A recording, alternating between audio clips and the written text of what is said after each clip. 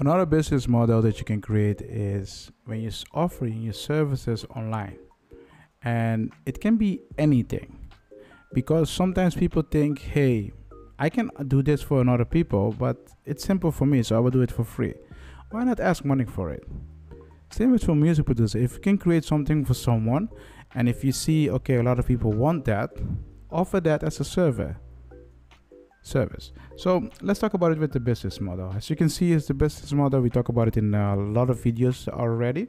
So you're asking yourself, okay, what kind of service can I offer? Don't ask that because you're gonna do the same thing as everyone.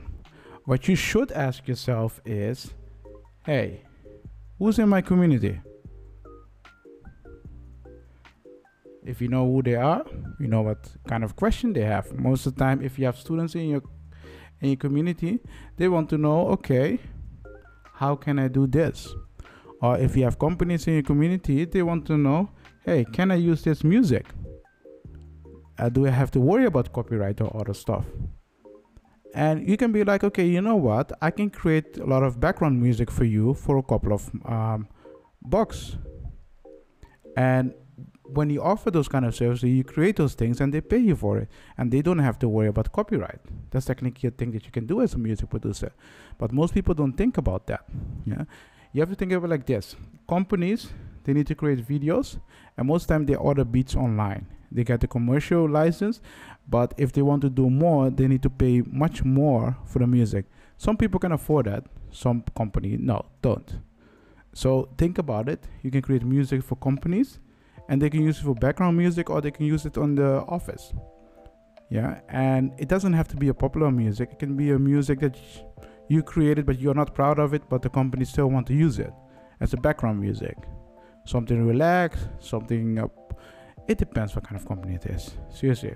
So you can offer those kind of things to companies. Let's say hey i can create this much music for you. You're gonna pay me this much. Boom you just do your work you give them and then done. You don't have to worry about it. Make sure you have a good contract. So customer can be companies but can also be people in community that wants to have um, want to be let's say consultant. Let's say someone is trying to do something but they do not know how to figure it out. You can consult them and they say hey listen i can help you out for this much and then you pay me the thing is, let's say you'll be like, okay, I'm gonna help you for 30 minutes. Doesn't mean you will solve the problem in 20, 30 minutes.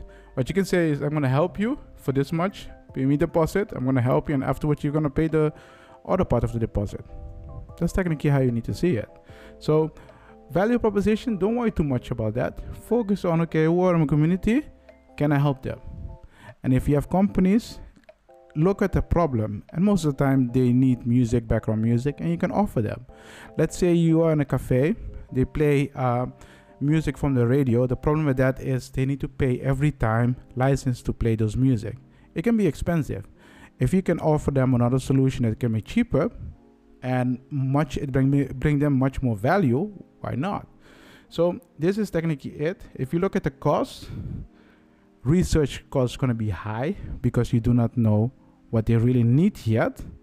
So those costs will be high, but on a long term, it's going to be low because you already established clients, you're established what you can do, and then you can get revenue. So you're asking what is the revenue? Consultant, um, selling digital um, products, let's say music for the companies, or selling your licenses. That's technically it.